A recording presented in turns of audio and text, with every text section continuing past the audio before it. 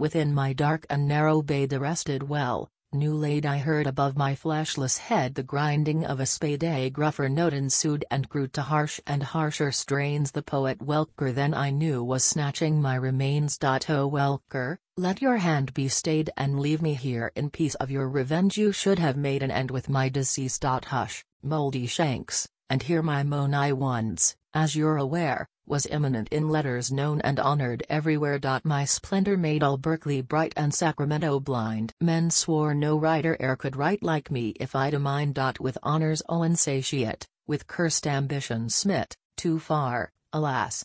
I tempted fate I underscore published underscore what I'd writ. Good heaven. With what a hunger wild oblivion swallows fame men who have known me from a child forget my very name.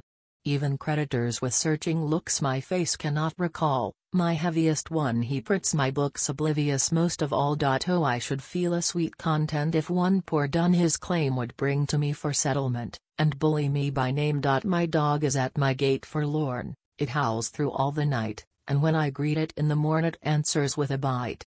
O poet, what in Satan's name to me is all this ado? Will snatching me restore the fame that printing snatched from you? Peace, dread remains, I'm not about to do a deed of sin. I come not here to hale you out. I'm trying to get in,